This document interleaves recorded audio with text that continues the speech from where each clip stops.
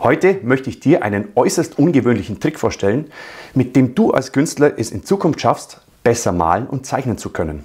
Es ist eine effiziente Technik, mit welcher du dein inneres Auge und deine Vorstellungskraft deutlich verbessern kannst. Wenn du wissen möchtest, wie das geht, dann bleibe dran.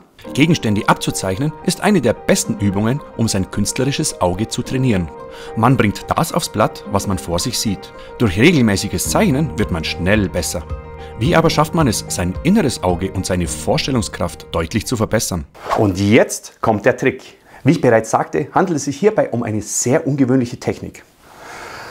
Du nimmst einen Schal oder ähnliches,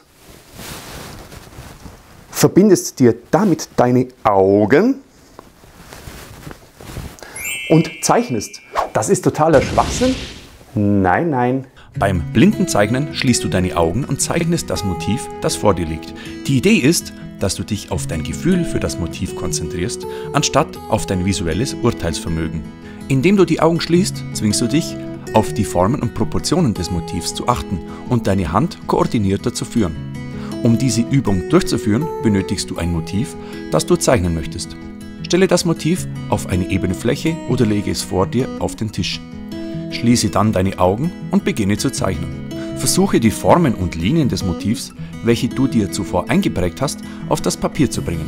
Sei geduldig und lasse dich nicht von kleinen Fehlern entmutigen.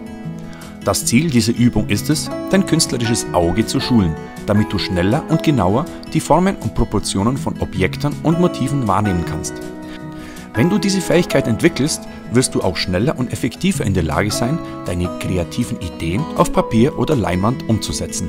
Das ist eine witzige und spielerische Methode, wie du deine Vorstellungskraft verbessern kannst. Beginne mit einem einfachen Objekt und versuche einfach nur die Umrisse aufs Blatt Papier zu bringen. Du wirst sehen, wie schnell du Fortschritte machst. Es wird dir auch immer leichter fallen, dir Gegenstände einprägen zu können und diese dann künstlerisch umzusetzen.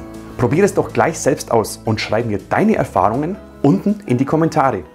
Ich hoffe, dir hat dieses Video Spaß gemacht und du konntest dabei etwas lernen. Und hoffentlich sehen wir uns bald wieder. Ciao, bis zum nächsten Mal.